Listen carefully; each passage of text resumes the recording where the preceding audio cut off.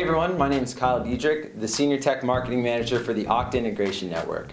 So today we're really excited to announce some new ways to provide secure, seamless access into multiple different Amazon accounts.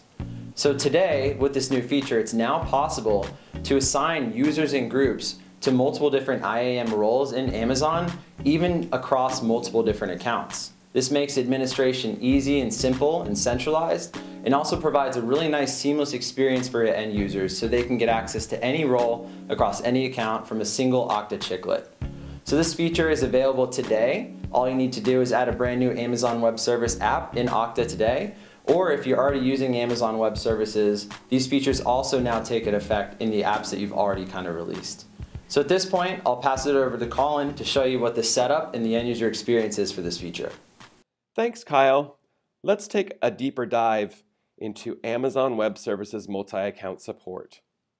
First, let's take a look at what it takes to set this feature up. You can begin by adding an Amazon Web Services app in your org, or by finding an existing integration you may already have in place. From there, follow along with the in-product single sign-on guide to configure your AWS accounts as well as Okta. Once you've completed this process, all of your AWS accounts will be configured for single sign-on, and Okta will also have the ability to fetch a list of all the roles and accounts that you have specified.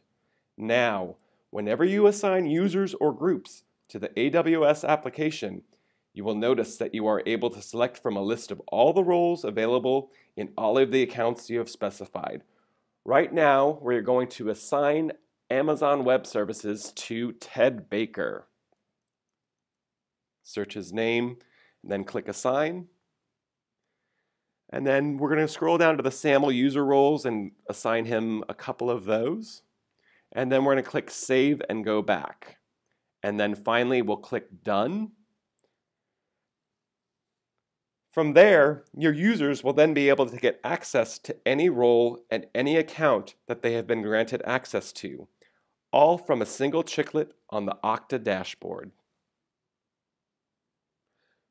And that's about it with our look at Amazon Web Services multi-account support. Back to you, Kyle. All right, thanks Colin, that was awesome. So a few more details about this integration. This supports up to about 60 different Amazon accounts at once with an unlimited number of roles. Uh, this also supports different AWS regions and also other types of AWS accounts like GovCloud, for instance. And you can even assign groups that don't just exist in Okta to AWS roles, like from Active Directory or from LDAP. So we think that this is a really awesome way to manage Amazon Web Services at scale. It's a lot more secure, a lot more seamless, so make sure you go check this integration out.